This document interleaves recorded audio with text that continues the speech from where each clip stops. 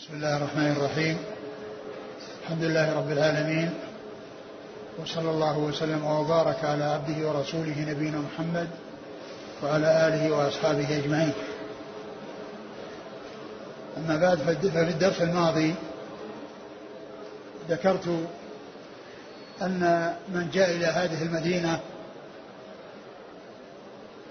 للصلاة في هذا المسجد المبارك الذي قال فيه النبي عليه الصلاة والسلام في هذا المسجد وفي وفي المسجد الحرام والمسجد الأقصى لا تشد الرحال إلا إلى ثلاث مساجد المسجد الحرام ومسجد هذا والمسجد الأقصى.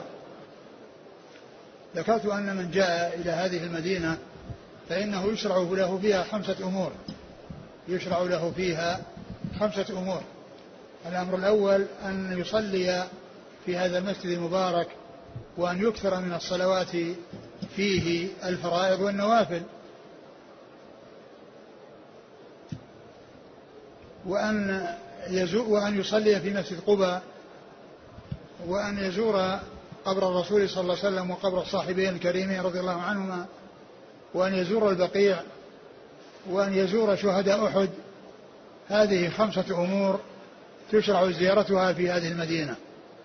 خمسة أمور تشرع زيارتها في هذه المدينة. زيارة مسجدين وزيارة ثلاث مقابر.